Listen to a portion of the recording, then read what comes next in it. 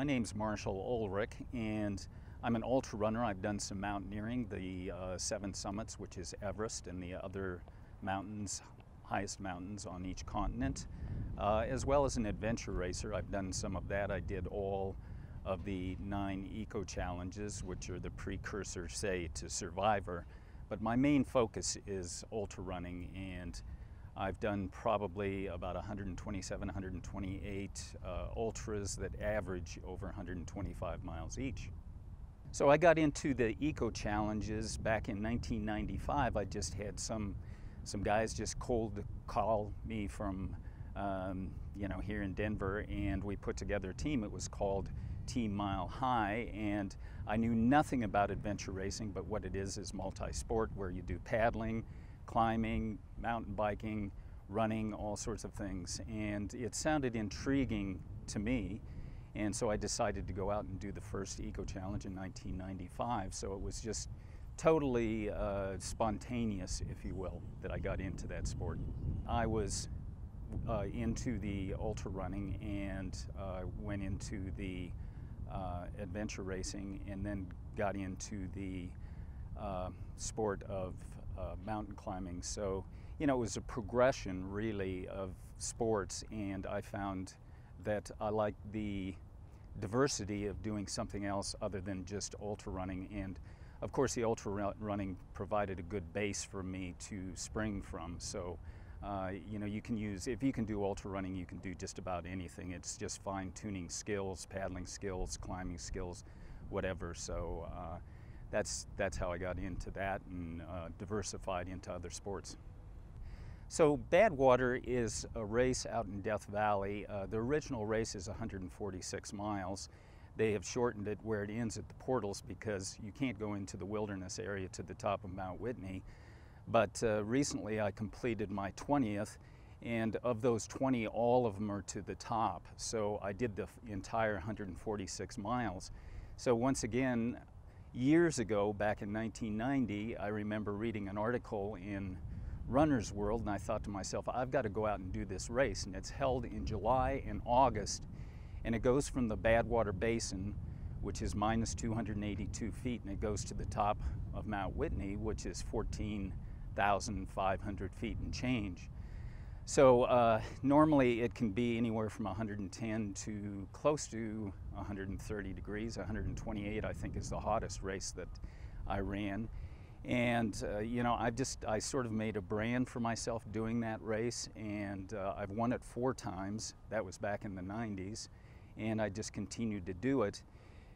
And I think my biggest emphasis is to tell people um, or show them that they can accomplish more than they think they can and keep doing it for as long as they can. I'm 64 years old, so obviously I've been doing it quite a while and I enjoy it. And um, if I can influence, you know, one or two people along the way and, um, you know, they are successful and happy with what they're doing as far as running is concerned, then, you know, that's what it's all about.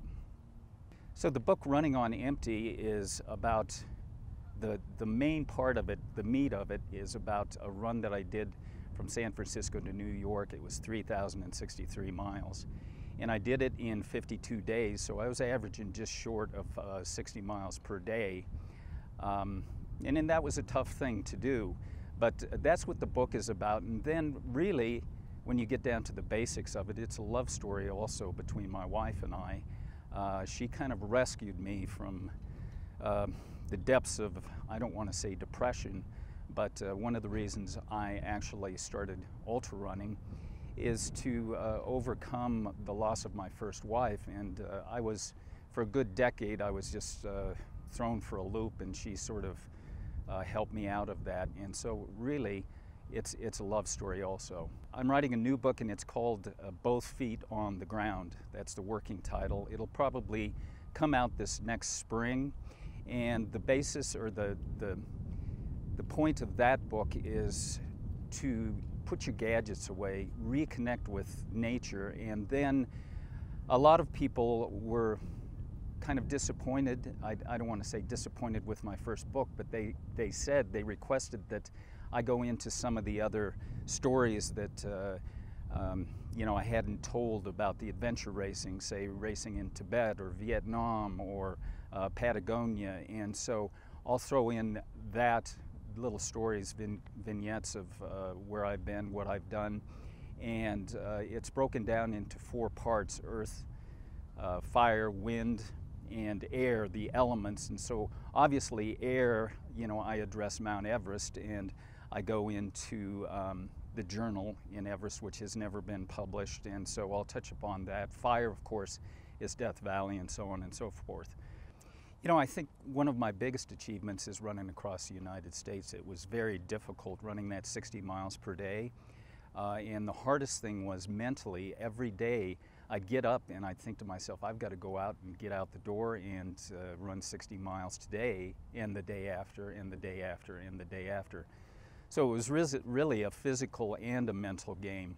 I think the most dangerous thing that I did was uh, not climbing Mount Everest, although that was very difficult, but the most dangerous thing that I did was about three years ago, along with a buddy, Dave Heckman.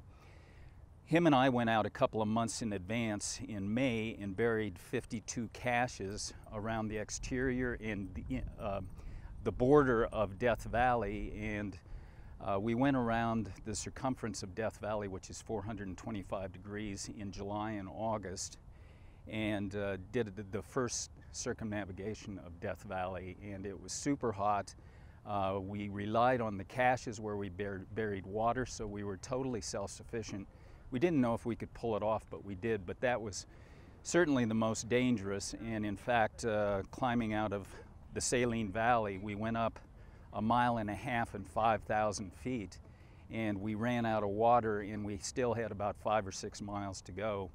And I almost bought it there. Um, I was very drowsy, drifting in and out of consciousness. And, um, you know, it was, it was one of those things that uh, you, I wouldn't recommend it to everybody to do. well, what's next for me? Uh, I, I may be out in Death Valley still. Uh, but I think I'm going to be out there on a limited basis, you know, 20 times of doing uh, the Badwater Ultra Marathon and then another seven crossings in one way or another, one fashion or another. I think that's enough. Uh, I'm going to get more into the winter sports and I think the ultimate goal for me is to finish races and uh, qualify to do uh, the entire thousand mile Iditarod course on, on foot pulling a sled and uh, it's called the Iditasport. So you know, that'll be the next challenge, and I'll probably build up to that in the next couple of years and uh, just a change of scenery, if you will.